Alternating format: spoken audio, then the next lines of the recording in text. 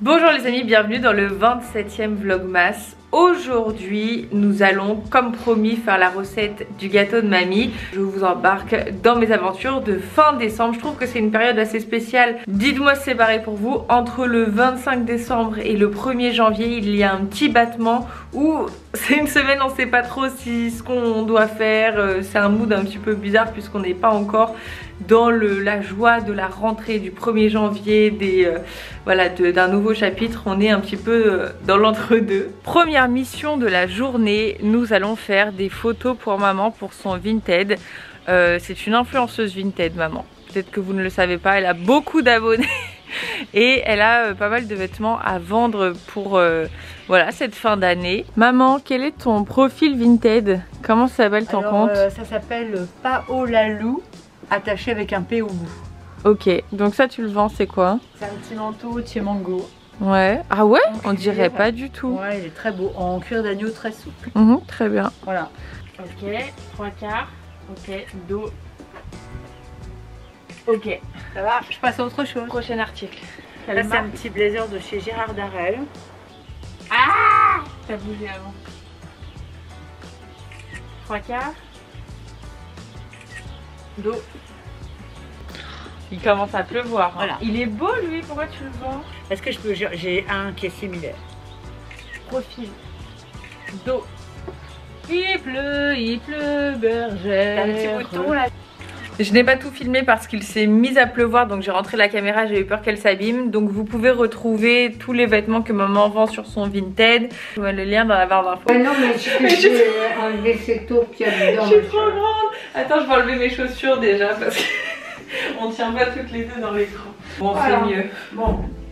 Alors, toi, tu, toi, tu te mets ici. Regarde. Ah bah écoute. Voilà. Je vais essayer de t'obéir. J'ai bien dit, essayez. Hein. On fait le gâteau de Mamie Mado aujourd'hui. Explique-nous ton gâteau aux pommes Mamie. Donc 3 œufs, je suis ton commis. Oh, ça va être. Donc des œufs entiers. Ah, oui. Ouais. Moi, je suis pas trop économique parce qu'il y a des gens qui en mettent que deux. Mais. Bah, 3, ça va, non Pour un gâteau Vraiment, histoire de dire un soupçon de sel. Un soupçon. Est-ce que tu as besoin de la cuillère magique Ah oui, moi je vais me faire que de ça. Que de la cuillère. C'est un paquet de je range. Voilà. Ok. Ensuite, tu me passes une cuillère à sucre. Oui. Combien de sucre tu mets Alors, je mets... Écoute, je mets 7... la recette était de 7 cuillères. Oui. 6 et 7.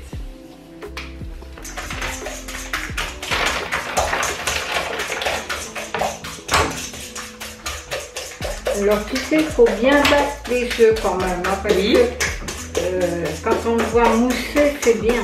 Ah d'accord, faut que ça mousse. Chérie, il faut la bouteille d'huile, parce que moi je mets oui 3 cuillères de, table. Euh, voilà, d'or, c'est très bien. Je mets 3 cuillères de 3 cuillères à soupe d'huile. Oh, c'est pas compliqué, tu sais. Bah non, ça a l'air simple, mais il est tellement bon ton gâteau à chaque fois. Je t'assure. On peut le faire avec tous les fruits. Et donc tu mets du beurre ensuite ou c'est juste pour ah, Je mets jamais de beurre. Ah c'est juste pour le moule alors. Voilà. Ah tu le fais à l'huile aussi. J'ai une copine qui fait que des gâteaux à l'huile.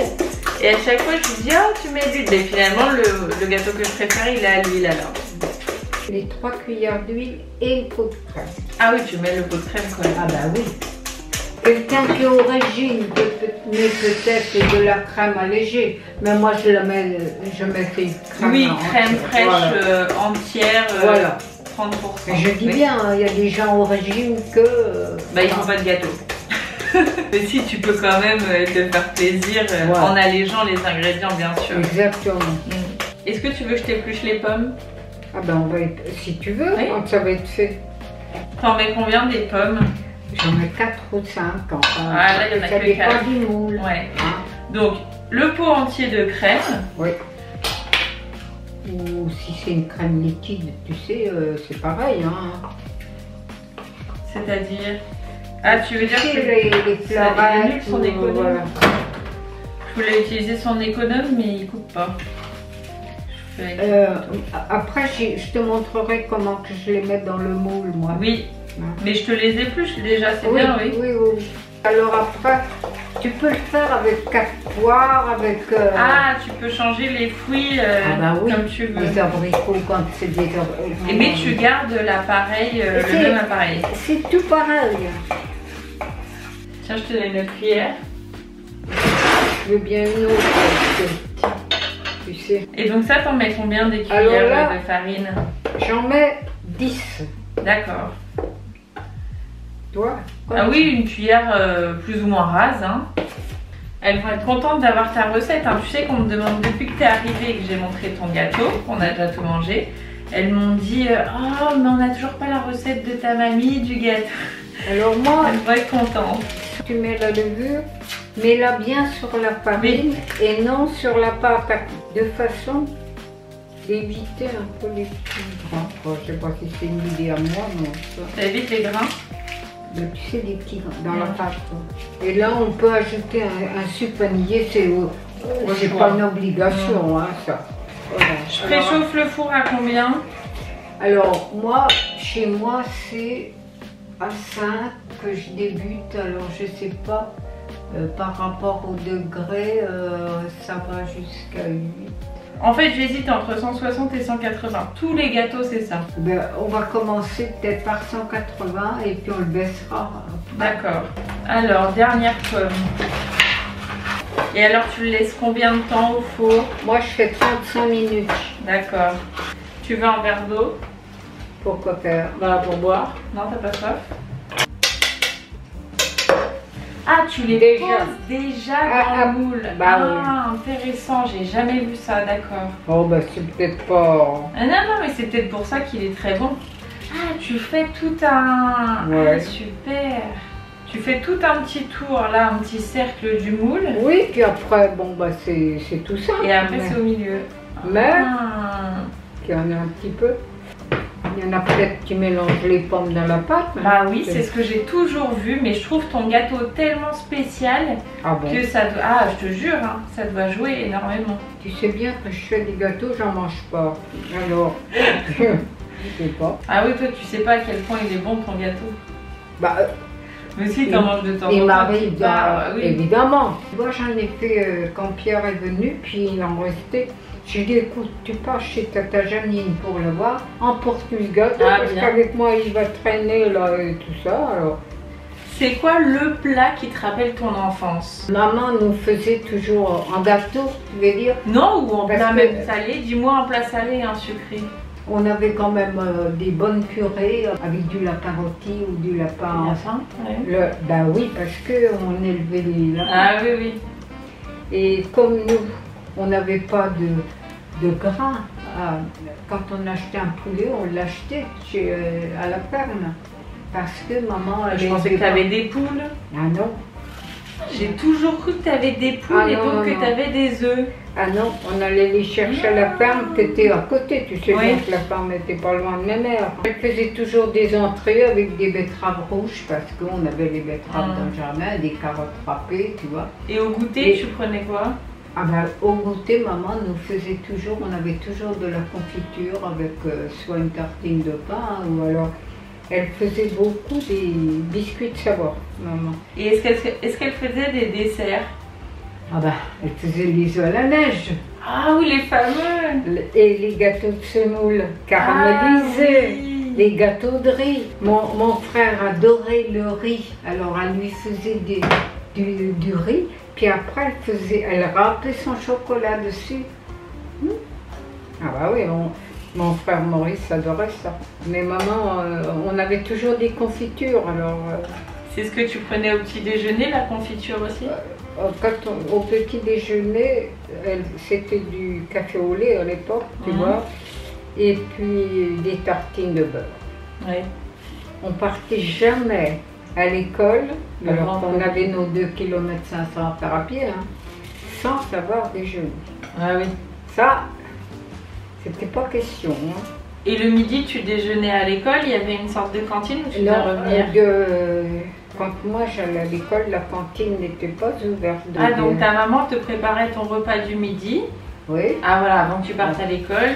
Et euh, Avec euh, le, la gamelle du, pour manger, quoi. Oui. Puis, le dessert avec. Mais par exemple, quand tu allais à l'école le midi, tu- mangeais pas un lapin avec une purée. Elle te faisait pas un tupperware lapin purée, elle te Ben, faisait elle quoi? faisait toujours quelque chose qui se réchauffe, tu sais. Et c'était quoi Ouais. par exemple pour aller à on- l'école? On avait souvent du, des, enfin, du bain, un peu de la viande avec des carottes, tu Ah vois. On avait, ça pouvait être des lentilles, ça pouvait Oui. être euh, des haricots secs avec, voilà, du riz, parce que mon frère aimait beaucoup le riz aussi, tu vois. C'était, mais c'était varié, hein. Ah d'accord. Elle nous faisait vraiment euh, des, des bons. On avait quand même cette chance-là que maman cuisinait, puis on avait Elle aimait bons- ça, oui. Ouais, des bons repas. Hmm. Il y avait une autre famille. ben, les enfants, ils n'étaient pas gâtés comme ça. Ah ouais, t'avais des vrais repas parce qu'aujourd'hui, tu vois, le midi, les gens, ils vont aller à la facilité au plus vite, ils vont manger un sandwich. Ouais, non, on avait, on connaissait pas Bah, le, mot sandwich. C'était pas arrivé encore. Non.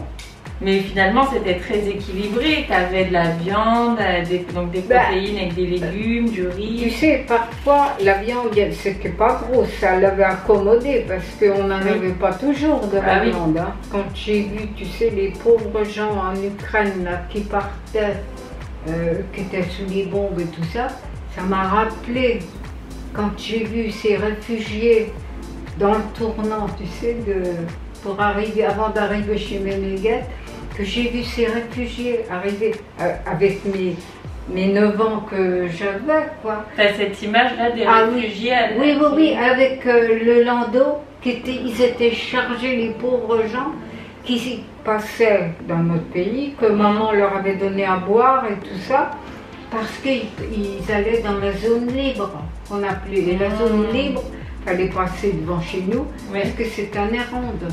Ah d'accord. Ah oui, mais, Ah donc toi, c'est très frais dans ta mémoire. Ah, bah, Mais mamie, t'as une mémoire incroyable en même mais il y a temps. des, des, j'ai des flashs. euh, Tu vois ces familles qui arrivent avec toutes Ah leurs oui, ces possessions. et pauvres gens en Ukraine, j'ai vu. Ça t'a rappelé ça. Ah bah oui. Mm. de la maison de ma mère, on voyait le bombardement quand ils ont fait sauter toutes les lignes de chemin de fer à Nevers. Tu voyais ça? Ah bah c'était en face. Hein. Quand j'ai revu la guerre en Ukraine, là, ah bah, il y avait des souvenirs. Est-ce qu'il y a des gens du village qui les accueillaient Qui les faisaient dormir Ah, chez eux que- Ils n'ont pas séjourné dans notre pays puisqu'ils cherchaient Ils ont la- ah, la zone libre, ils ont ils traversé. euh, zone libre. Ils y allaient le plus vite possible quoi. Ouais. Ouais. Mais, vous leur avez offert de quoi manger, Ah, bah, de ah, quoi ah oui, boire. ah, ah ben ça, euh, mes parents, tu sais, question de ça, ils étaient... Tu sais, Pépère Laloute, enfin, son- on l'appelait Laloute, hein. Oui. Euh, il faisait son travail à. C'était quoi son vrai prénom? Louis. Ah Louis. Ta mère était sévère et ton père euh, Ah bah, était. euh, Heureusement qu'ils n'étaient pas tous deux sévères.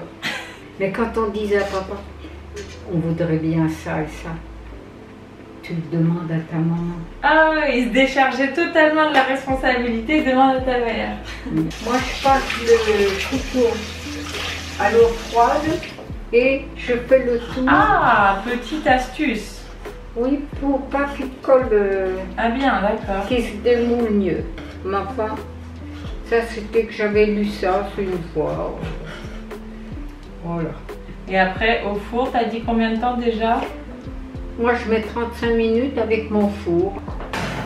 Parfait. Et voilà les amis, le gâteau de mamie Mado. Magnifique. Très hâte de le goûter. Belle couleur. Elle vient d'où ta cloche? Elle est trop belle. Maison du monde. Bah on a la même. Bah oui. Hein? Je voulais vous montrer l'intérieur du gâteau. Voilà, vous voyez bien toutes les petites pommes, etc. Très très bon. C'est pas un gâteau qui est super euh, gonflé, vous voyez. C'est un petit gâteau fin comme ça, bien moelleux, avec euh, un petit peu le fondant des pommes.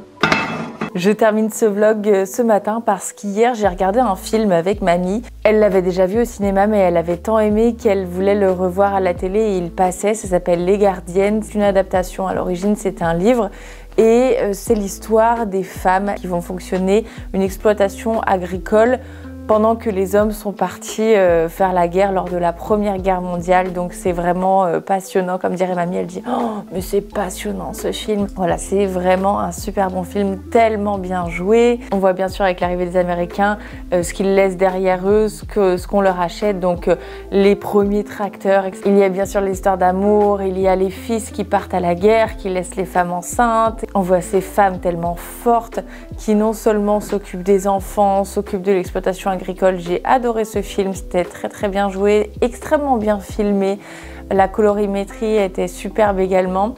On était plongé dans une ambiance de Première Guerre mondiale, mais où les femmes sont vraiment valorisées. J'ai trouvé ça vraiment sympa. Et puis ensuite, et puis ensuite, je suis allée dormir. J'ai bien mangé de son gâteau. J'espère que vous êtes contents d'avoir la recette. Je vous l'indiquerai dans la barre d'infos. Et je vais arrêter maintenant puisque je vais continuer avec euh, eh bien, le vlog que vous verrez demain. Je vous souhaite une très très bonne journée et je vous dis à demain 18h25. Bye